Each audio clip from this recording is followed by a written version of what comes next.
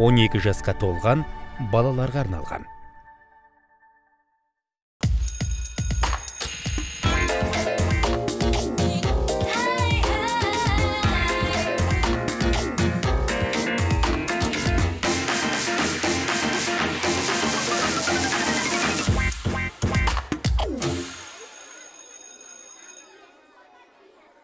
Болашағы зейіні нашар зерделі ұрпақ қолында эфирде өңірдегі білім саласы бойынша бар ақпарат тарататын зерделі ой мен тұшымды пікір тоғысқан зерде бағдарламасы оның жүргізушісі мен айжан ерлаңызы армысыз қымбатты көрермен бүгінгі бағдарламада ата ана мен бала арасындағы қарым қатынас қолдау мектепке дейінгі оқыту жүйесі туралы әңгіме өрбітеміз. Студиямызға жайғасқан меймандарымызбен таныс болыңыздар. Құдайберген жұбанов атындағы ақтөбе өңірлік педагогика және ә, білім берудегі менеджмент факультеті мектепке дейінгі және бастауыш оқыту кафедрасының аға оқытушылары жәкім әсел жәкімқызы және ырысбаева ардақ қуанышқызы. Қош келдіңіздер көңіл күйлеріңіз қалай? Қош көрдік өте жақсы. Енді қазіргі таңда жалпы жиырма бірінші ғасыр дейміз ә? Альфа ұрпақ дейміз. Қазіргі мектепке дейінгі оқыту жүйесінде балалардың зейіні туралы әңгімені дәл осы мәселеден бастасақ. Жақсы. Мен жауап бере берейін. Қазіргі таңда енді үлкен бір назар аударатын тұс деп айтсақ болады. Бұл мектепке дейінгі жастан бастап жалпы өскелең ұрпақтың мына таным процестері зейін деп отқанымыздың өзі барлығы психологиялық тұрғыдан қарағанда таным процестері болып табылады. Соның бірі бұның тұрақтылығын сақтау зейіннің ұдайы мынау әртүрлері ырықты ырықсыз зейіндерді жетілдіру бағытында сол мектепке дейінгі жастан бастап жалпы өскелең ұрпақтың осы бір таным процестерінің дамуына өте назар аудара отырып жұмыс жасауымыз керек деп есептейміз. Себебі қазіргі ұрпақ мынау сабырлық шыдамдылық бір нәрсені күту деген дүниелерді ұдайы жұмыс жасап отырып жетілдірмесек бар дүниенің тез болатындығына төселіп қалған. Яғни мына шыдамдылығы аз. Одан кейінгі дүние мынау таным процестерінің тұрақты жаттығу жасап біз ұдайы дамытып отырмасақ кейін адамға кесірін тигізуі мүмкін.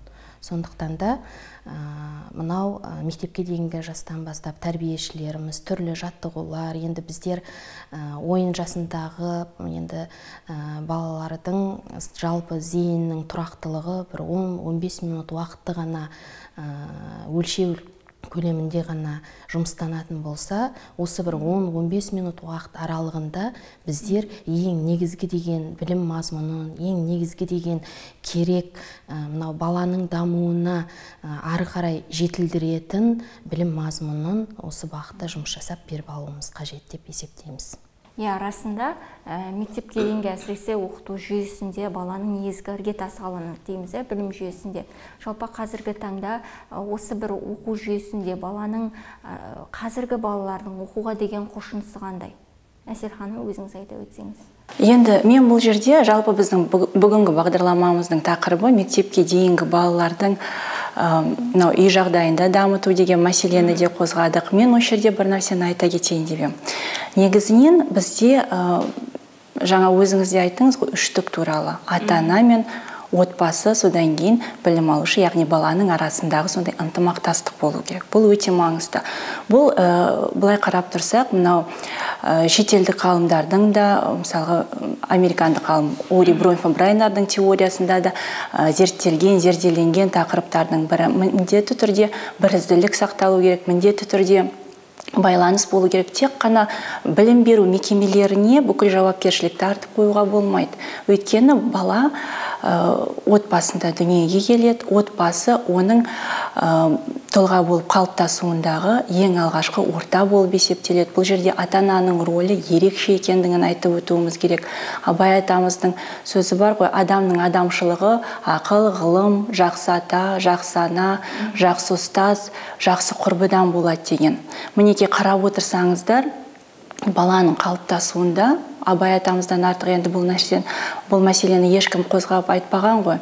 Сондықтан да күні бүгінге дейін біз абайдың сөздеріне осылай әрдайым табан тіреп сөйлеп отырамыз.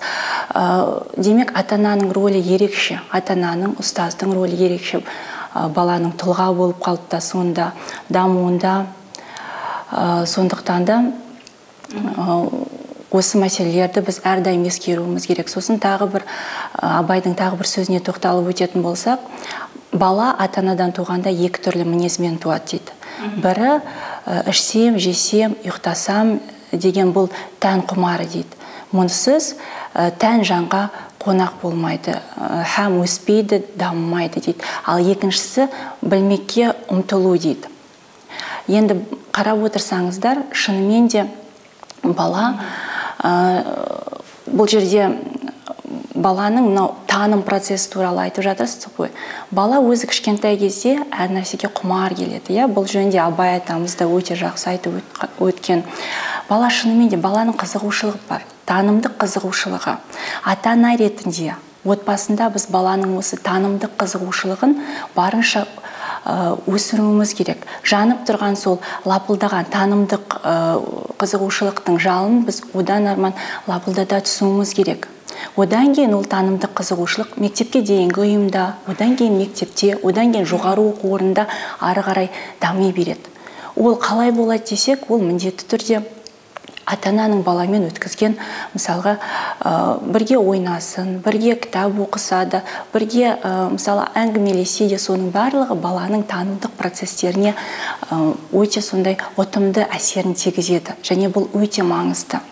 Жалпы біз мынау халықаралық зерттеулерді қарайтын болсақ мысалы біріккен ұлттар ұйымының жанындағы балалар фондының жүргізген зерттеулерін қарайтын болсақ мұнда баланы дамыту үшін бірнеше факторлар қарастырылады. Соның бірі дамытушылық орта соның ішінде үйдегі дамытушылық орта. Оған жаңағы әртүрлі ресурстарымыз кіреді. Ол кітаптар болсын ол әртүрлі ойыншықтар дамытушы ойындар тағысын тағы деген сияқты. Одан кейін ата анамен қарым қатынас ата анамен қарым қатынас өте маңызды. Мысалы сіз үйге әртүрлі балаларға арналған кітаптарды одан кейін ресурстарды жинап қоюыңыз мүмкін. Иә баланың қызығушылығы оған артады. Бала қызығады бала оған қарайды. Бірақ баланың қызығушылығын одан арман арттыру үшін ата ана баламен сол ресурстарды қолданып белгілі бір ойын іс әрекетіне бірге араласу қажет. Бұл өте маңызды және тағы бір айта кететін мәселе бұл жерде тек қана тәрбие беру білім беру ол тек қана ананың ғана емес әкенің де міндеті. Өйткені халықаралық зерттеулердің барлығы ата ананың үй жағдайында балалардың дамуына ерекше үлес қосатындығын олардың танымдық процесі болсын олардың когнитивтік физикалық эмоционалдық әлеуметтік шығармашылық тұрғыдан дамуының барлығының бастау отбасында екендігін айтады. Мектепке дейінгі үйім баланың осы дағдыларын одан ары жалғастырады. Және кейін олар ата анамен ынтымақтастықта жұмыс істейді. Қай кезде осындай ынтымақтастық орын алады сол кезде біздің тәрбиелік болсын білім берушілік мақсаттарымыз болсын түгелімен жүзеге асады. Содан кейін сіз жаңа айттыңыз ғой жаңа ұрпақ альфа ұрпақ деп. Иә шынымен де қазір балалар басқаша. Заман заманның ағымына қарай техниканың технологияның дамуына қарай. Соның өзі мысалға балалардың дамуына әсер етеді. Сондықтан да мысалға біз соған сәйкес білім мазмұнын өзгертіп отырамыз. Өзіміздің мынау педагогтар ретінде мынау жаңағы әдіс тәсілдерімізді технологияларымызды бейімдеп отырамыз. Соған сәйкес мысалы ата аналардың да балаларды сол дәуірдің балаларын тәрбиелеуге өздерінің әдіс тәсілдерін жетілдіріп отыру керек. Сол үшін әрине жаңағы кәсіби мамандардың ата аналарға қолдауы қажет деп ойлаймыз. Неліктен қазіргі таңда біз баланың тәрбиесін ата анаға қарағанда қазіргі қоғамда ата анадан гөрі мектепке ұстазға артып тастадық. Қазіргі таңда енді ең негізгі біздің өзіміздің педагогикада да бар бұл тәрбиеге әсер ететін факторлар болатын болса соның бірі бұл отбасы болып табылады. Бір жақты ғана көзқараспен бұл тәрбиені тек қана мынау білім беру мекемелеріне оның ішінде ұстаздарға жүктеп қоюға болмайды. Ә, себебі бұл ә, тәрбиені біз оқытудан бөлек алып қарастыра алмаймыз. Екеуі екі жақты қатар жүретін үрдіс. Сондықтан да біз оқыта отырып тәрбиелейміз тәрбиелей отырып оқытамыз. Болашақ ұрпақты. Сондықтан да мынау мектепте бала негізі өзінің мынау бес алты сағатын өткізетін болса ары қарай мынау ұстаздың оқыта отырып берген тәрбиесін жетілдіру ата аналар тарапынан да қолдауды күтеді. Себебі баламен де оқушымен де отбасында ата ана жұмыс жасау керек. Бұл жерде енді барлық ата аналарды біз мынау педагогикалық бағытта білімі бар деп айта алмаймыз. Бірақ та қазіргі таңда егер де жұмыс жасаймын деген немесе білемін үйренемін деген адамға мүмкіндіктер өте көп.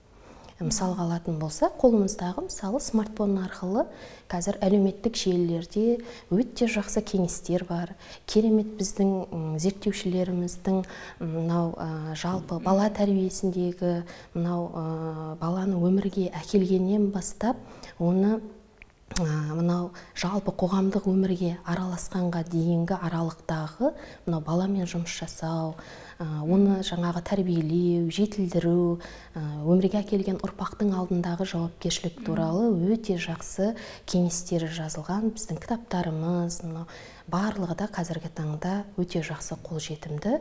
Тек қана мынау баланың алдындағы жауапкершілікті сезінген ата ана осы бағытта жұмыстанып біздің тәрбиешілерімізге ұстаздарымызға қолдау білдіріп жатыр деп айта аламыз қазіргі таңда. Себебі жаңағы айтып кеттім ғой сөзімде. Барлық мәліметте қолжетімді. Қазір мынау жаңа алдымызда айтып кеткендей бұрын біз педагогикалық үрдісті екі жақты процесс деп қарастыратын болсақ оқушы мен мұғалім мұғалім мен оқушы. Қазіргі таңда бұл үштік одаққа көшті. Яғни бұл үрдіске біз үшінші қылып ата ананы да қосып отырмыз. Яғни қазіргі альфа ұрпақтың өсіп жетілуінде біздің ұлттық құндылығымызды сақтай отырып болашақ ұрпақты тәрбиелеуде бұл тәрбиешілер мен ұстаздарға жалпы педагог қауымға ата ананың да көмегінің қажеттілігінен туындап отырған дүние деп айта аламыз.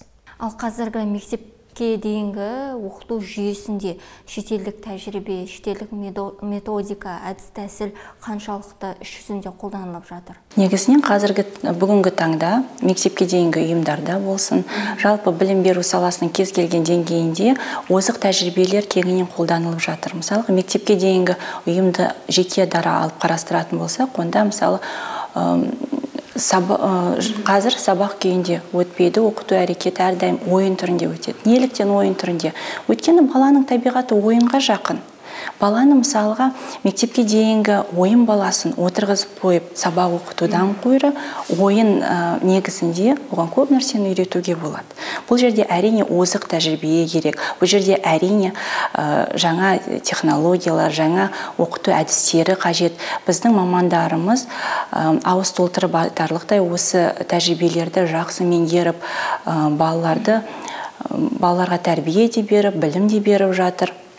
Енді мына ойын әрекеті неліктен таңдадық десек бұл жөнінде де көптеген эмпирикалық зерттеулер бар. Бұл эмпирикалық зерттеулердің нәтижесінде баланың ойнай жүріп көп нәрсені үйренетіндігін байқауға болады.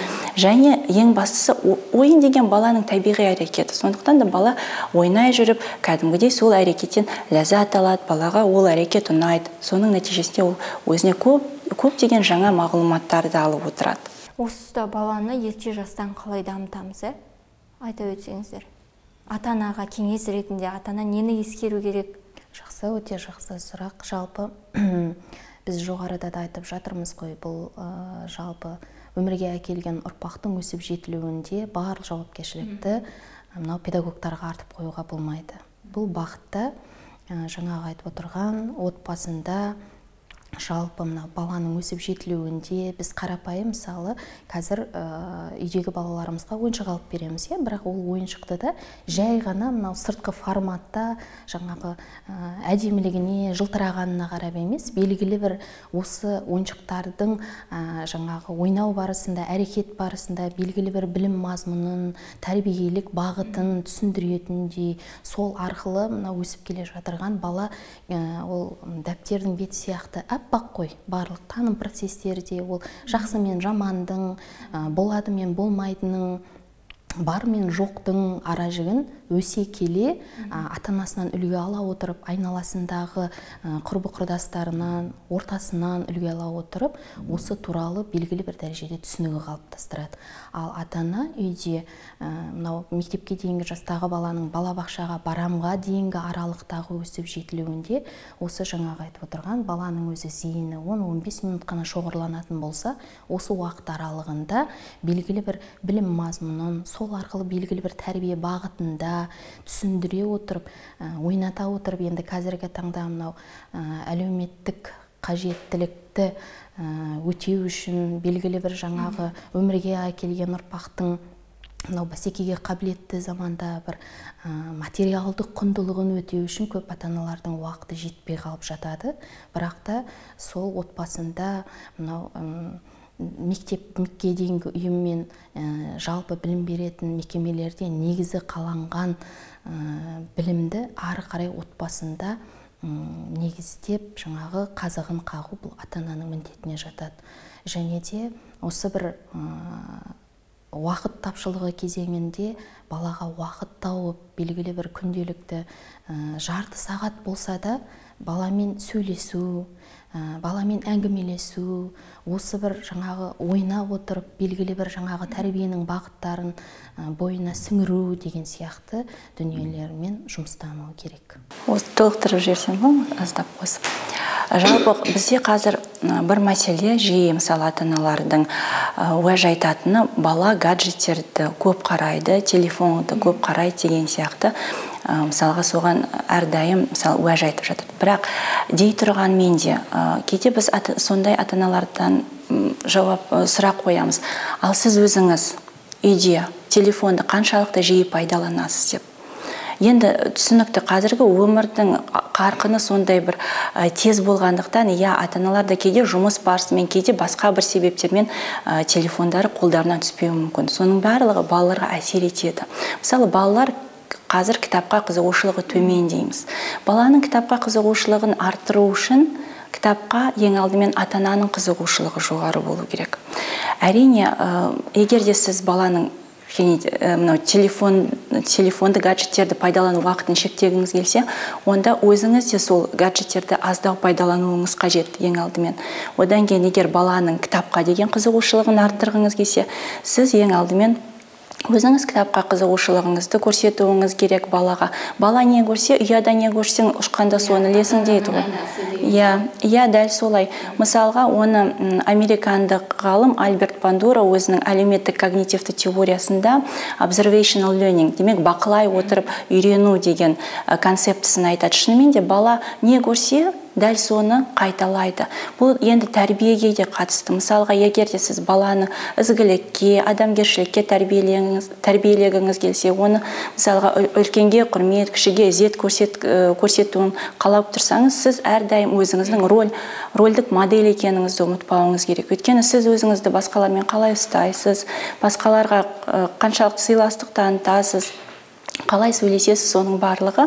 Мысалы балаға үлкен әсер етеді. Біз балаға жүз рет айтуымыз мүмкін. Сен кітап оқы кітап оқы кітап оқу керек деп. Егер біз өзіміз сондай бір мысал көрсетіп балаға өзіміз кітап оқымасақ онда баланың да қызығушылығы оған артпайды. Одан кейін тек қана өзіміз кітапқа жүңіліп отыра бермей сонымен қатар баламен бірге сол кітапты қарап шыққан өте тиімді болады. Алғашқы кезде иә бала мүмкін қызығушылық бала тарапынан көрінбей байқалмайтын шығар. Бірақ уақыт өте келе бала бала да қызыға түседі. Одан кейін мен мысалы бір зерттеу жүргізгенімде сонда балалар анасының айтқан ертегісін өте жақсы ұғып алатындығын сондай қызыға тыңдайтындығы жөнінде менің қатысушыларым сондай өз пікірлерін айтты.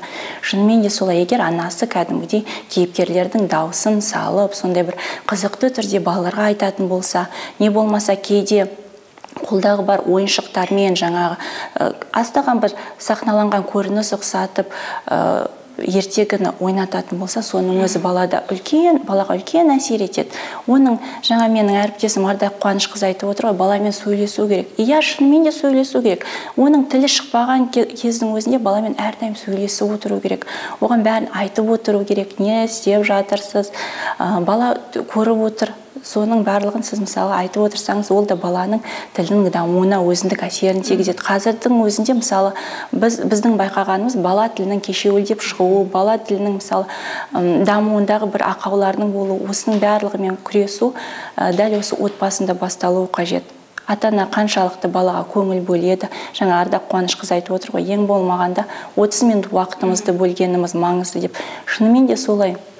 Балаға көңіл бөліп баламен кішкене бала болып ойнаған балаға ертегілерді ә, сурет кітаптарын көрсетіп алғашқы кездері иә одан кейін кәдімгі ертегі кітаптарын көрсетіп сондағы суреттерге мән беріп ә, кішкене өскеннен кейін енді ары қарата не болады екен деген сияқты сұрақтар қою арқылы баланы сөйлету баланы сол мынау кітапқа қызықтыру осындай мәселелердің барлығын біз есімізде ұстауымыз керек қой деп ойлаймын. Әсел жәкімқызын толықтырып өтсем өте жақсы мәселелерді қозғадыңыз. Әсел жәкімқызы бұл тұста мына дүниені де ескеру керек деп есептеймін. Себебі қазір үйдегі мына бала тыныш болсын дейміз де қолына гаджетті беріп иә, өзіміздің шаруамызды реттеп жаңағы қонақ келсе де қолына гаджет беріп қоямыз мазамызды алмасын деп.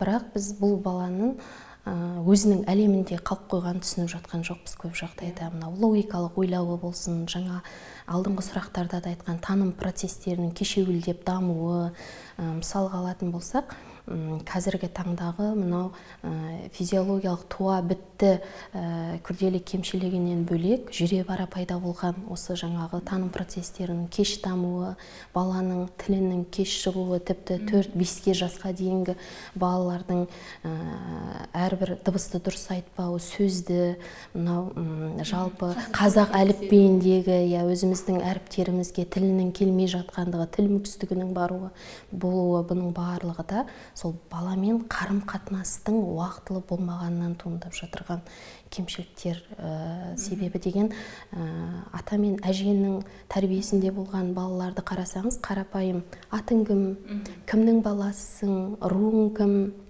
жеті атаң кім деп қызыға отырып баланың тілінің шыққанына қызықты сұрақтар қойғанымен оның астарында мынау біздің ә, балалардың осы дамуына үлкен септігін тигізеді. Сондықтан да жаңағы айтып отырған ә, күнделікті ә, белгілі бір уақыт мөлшерінде уақыт бөліп баламен міндетті түрде қарым қатынас керек. Бірінші мәселе. Сөйлесу керек. Ә, баланың әрбір жаңағы ең бірінші дұрыс сөйлеу үшін біздер әрбір дыбыстың дұрыс айтылуын қадағалауымыз керек. Егер де бір олқылықтар байқап жатырған кезде тиісті мамандарға уақытылы көрсету уақытылы кеңес алу бұл да белгілі бір көлемдегі мынау баланың өсіп жетілуіндегі ата ананың жауапкершілігі деп есептеймін. Және де жаңа жақсы ә, дүниелер айтылды. Бұл ертегілер мысалы ертегі оқып беріп жаңағы ойын арқылы ә, көрсетіп екінші бір дүние жаңағы айтып отырған өте жақсы ізгілікті қасиеттерді баланың бойына адамгершілік қасиеттерді қалай ә, түсіндіре аламыз? Айта бергеннен көрі ә, белгілі бір көлемде осы бір біздің ертегілерді егер де сен осы кейіпкердің орнында болсаң сенің іс әрекетің қандай болатын еді деген сияқты бір өзінің логикалық тұрғыда ары қарай сен ертегіні қалай қалар едің деген сияқты. Осы бір қасиеттерді бойына дамыту мақсатында баланың өзіндік шешімін де көре отырып ол баланың қалай жетіліп келе жатырғанын ары қарай ата ананың іс әрекеті қалай болады осы баланың жауабына қарай деген сияқты жұмыстар жүргізілуі керек қой деп есептеймін. Иә дұрыс айтасыз. Расында ә, сол бір алты жасқа дейін баланың зейіні жаңағы қызығушылығы деген секілді ерекше болады ғой. Ә, дегенмен де қазіргі таңда кей ата аналар ә, балама еркіндік берейін ә, жаңағы қызығушылығына қарай өзі еркін таңдасын деген сияқты секілді тәрбиеде еркіндік беріп жатады иә. Ә, дегенмен де еркелету мен еркіндік берудің айырмасы қандай? Осы бір екі ұғымның айырмасын ажыратып алсақ иә. Өйткені кейбір мектепке дейінгі білім беру ұйымдарында кездестіріп жатамыз иә тым гипербелсенді балалар оның ұстаз тарапынан түрлі уәждері болып жатады деген секілді. Осы бір тұста ата ана еркелету мен еркін тәрбиелеуді қалай ажыратамыз? Өздеріңіз айтып өтсеңіздер. Өте жақсы сұрақ. Неге? Себебі мынау қазіргі таңда біз еркіндік деп кей жағдайда шектен тыс артыққа кетіп қалып жатырған сәттерде байқап қалып жатамыз.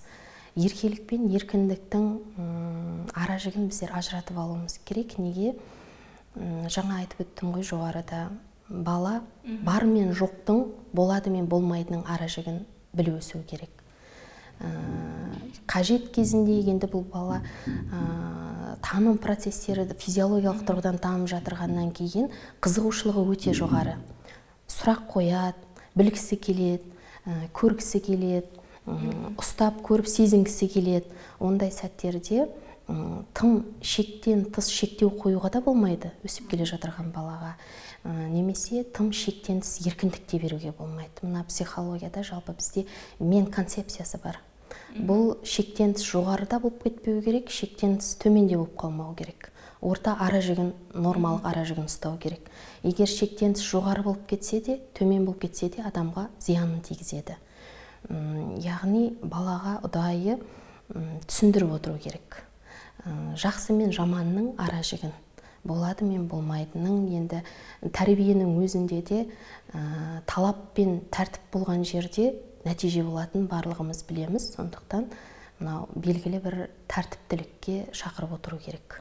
Шектен тыс еркіндік те кей сәттерде адамға зиянын тигізіп жатыр. Демек белгілі бір баланс болу керек қой. Еркіндік пен шектеудің арасында. Иә біз ә, баламызды жақсы көретін ата анамыз бірақ белгілі бір шектеулер қойылу керек онсыз болмайды. Ә, өйткені бала шынымен де өсіп келе жатқанда ол ақ пен қараны оң мен солын ажырата алмайтын кезде біз ата ана ретінде оған соны түсіндіріп айтуымыз керек. Ал екінші жағынан оған даму үшін танымын таным процестерін одан ары арттыру үшін мысалға біз белгілі дәрежеде еркіндік беруіміз керек. Бұл жерде енді тепе теңдігі болу керек иә. Қатты шектемеуіміз де керек сонымен қатар қатты еркіндік берудің де қажеті жоқ. Еркіндік беріледі қай кезде? Егер де бала бір танымдық процестері мысалға бір бір құбылысты танып білгісі келсе содан кейін тағы бір мәселе осыдан шығады. Мысалға бала өзі бір кезеңі болады. Неге деген кезеңі бала сұрақ қоя береді қоя береді. Сол кезде мысалға иә ата аналарды да түсінуге болады. Ата аналарды мысалға жұмыстан шаршап келуі мүмкін жұмыстары көп жұмыс басты одан кейін мынау қазіргі өмірдің салтының өзі сондай бір қарбаласқа толы ғой. Сондай кезде мысалы баланың сұрақтары жауапсыз қалып отырады. Ал сол жауапсыз қалған сұрақтардың өзі келе келе баланың бойындағы қызығушылықты бәсеңдетуіне кері ықпалын тигізуі мүмкін. Сондықтан біз барынша балалардың қызығушылығын одан арма ары өсіре беруге тырысуымыз қажет. Және жаңағыдай тепе теңдікті сақтаған дұрыс қой деп ойлаймыз. Қазіргі білім беру жүйесінде енді бәріне бірдей топырақ шашпаймын бірақ дегенмен де мынадай ұстаздардың педагогтардың арасында жаңағы оқитын баламен оқымайтын деген сияқты. Мынау ой мынау адам болып кетеді. Жоқ мына бала деген секілді бір сондай бір пікір дейміз бе? Сондай бір тенденция қалыптасқан иә? Мына бала ары қарай алып кетеді осы балаға дарынды көңіл бөлуіміз керек көп көңіл бөлу керек деген секілді осындай бір оқушыларды жаңағы бір бірінен бөліп қарау дейміз бе? Осыған бір көзқарастарыңыз қалай? Негізінен бұл дұрыс көзқарас емес. Неліктен десеңіз өйткені сіздің алдыңызда мейлі бес бала отырсын мейлі он бес бала отырсын мейлі алпыс бала отырсын. Олардың әрбіреуі жеке тұлға. Өйтіп бөліп жару шындап келгенде балалардың меніне жаңа ардақ қуанышқызы айтты ғой меніне кері ықпалын тигізуі мүмкін. Әрбір баланың өзіндік дарыны бар ол өзіндік тұлға. Оны біз барынша дамытуға тырысуымыз қажет. Жаңағыдай бөліп қарастырған ол ең алдымен педагог этикасына жат нәрсе. Өйткені сіз педагогсыз ба? Алдыңызға келген барлық балаға сіз бірдей қарауыңыз қажет. Егер де сіздің пәніңізден бір бала үлгермей жатса оны барынша қатарға қосып жіберу ол сіздің міндетіңіз. Алдыңызда отырған балалардың барлығының деңгейі бірдей емес. Сіз оны білесіз маман ретінде. Бірақ барлығын жетектеп ә, бір скафолдинг деген термин бар ғой. Оларды барынша сол ә, алдағы құрбыларына жеткізуге сіз барынша тырысып бағуыңыз керек. Ал оларды өйтіп бөліп тастаған категорияларға ол дұрыс емес біз айтамыз ғой бір шаблондар тағу деген сияқты. Ол баланың шынымен де мені не әсер етеді? Сосын сіздің пәніңізге деген қызығушылықты ол бірден бөгеп тастауы мүмкін. Егер де сіз мына баланы мысалға мына қолынан келмейді оқымайды осы осыдан не шығады дейсің деген сияқты көзқараста болсаңыз ол, ол бала шынымен де оқымауы мүмкін. Балалар әртүрлі ғой. Әрбір баланың мінезі әртүрлі біреулерін мысалы сондай көзқарас шыңдауы мүмкін. Ал көпшілігі оқымай тастап кетуі мүмкін. Дәл сіздің пәніңізді. Сондықтан біз барынша бала жанның бала жанын түсінетін сондай бір шебер болуымыз керек баланы түсіне білуіміз керек. Баланың эмоциясына баланың мына көңіл күйіне ешбір біз қаяу түсірмеуіміз қажет. Егер де үлгермей жатыр ма барынша соны түсіністікпен қарап ол баланың сол тобына ілесіп кетуіне біз барынша жағдай жасауымыз керек педагогикалық тұрғыда. Иә педагог сухомлинскийдің айтатыны бар ғой. Ұстаздың ең үлкен қателігі оқушының жаңағы ағаттығын қателігін бетіне басу деген екен иә. Осы бір осы тұста жалпы қазіргі таңда ұстаздардың кейбір осындай әрекеттерінің нәтижесінде расында оқушының қызығушылығы жалпы сабаққа білімге деген қызығушылығы кеміп қалмай ма? Өз пікіріңізді білдіре өтсеңіз. Мұндай тұста ұстаз қалай әрекет ету керек? Алдына келген баланың барлығы бірдей. Бірдей көру керек. Бұл педагогтың міндеті жалпы. Бірақ та мынау қазіргі альфа ұрпақтарына ашық түрде әңгімелесіп мысалы болып жатырған ситуацияны ашық түрде талқылау керек түсіндіру керек. Себебі жаңағы айтып отырған ә, баланың психологиялық тұрғыдан қызығушылығына теріс әсерін тигізіп алмас үшін мысалға алатын болсақ біз бағалау жүйесін алуымызға болады. Бағалауда да біз әділдікті басшылыққа аламыз бағаның дұрыс қойылуы білім деңгейін ескеруі кей жағдайда мынау ынталандыру есебінде белгілі бір дәрежеде стимул болсын деп кей сәттерде көтермелеу сәті де болып жатады. Бірақ ондай сәттерде ашық түрдегі мынау қойылып жатырған бағаның әділдігі соған сәйкес критерийлерді айта отырып ашық талқылау жасалуы керек. Сондай сәттерде мынау баланың қызығушылығына кері әсерін тигізіп алмайтындай бала түсінген жағдайда бұл ә, жасалып отырған дүниенің дұрыс екендігін дұрыс қабылдаған кезде ғана бұл жаңағы айтып отырған сіздің мәселеңіз туындамайды. Енді әсел ханым сұхбатымыздың қорытынды сұрағы ретінде сұрақ демей ақ қояйық. Қазіргі осы бір саланы таңдаған жас мамандарды өздеріңіз тәрбие ә, тәрбиелейсіздер иә? Болашақ мамандарды ә, дайындайсыздар осы бір тұста ә, болашақ мамандарымызға кеңес болсын иә? Енді болашақ мамандарымызға кеңес дейтін болсақ ең алдымен педагог болғаннан кейін балаларды жақсы көру керек. Жалпы адамзатты жақсы керек өйткені біз адамзатқа тәрбие ғана бермейміз білім ғана бермейміз оларды ізгілікке бастаймыз. Педагогтың өзі сол ізгіліктің бастамасы болу керек. Және өзінің білім алушыларына алдында отырған балаларға барынша түсіністікпен қарау керек. Ең бастысы жақсы маман болу үшін өз кәсібін жақсы көру керек. Егер адам өз кәсібін жақсы көретін болса ол бүкіл өзінің күш жігерін бүкіл ынта ықыласының барлығын сол мамандыққа жұмылдырады. Соның нәтижесінде ол өзінің еңбегінің жемісін көреді. Әрине біз педагогтар ол еңбегіміздің жемісін бірден көре қоймаспыз бірақ сол балаларымыздың кейін мысалға мектепке одан кейін жоғары оқу орнындағы сәттіліктерінің барлығы сол баяғыда мектепке дейінгі ұйымда басталғандығын біз естен шығармауымыз қажет. Иә уақыттарыңызды бөліп арналап сұхбат бергендеріңізге алғыс білдіремін. Жұмыстарыңызға тек сәттілік тілеймін. Қымбатты көрермен осымен бізге берілген уақыт өз мәресіне жетті.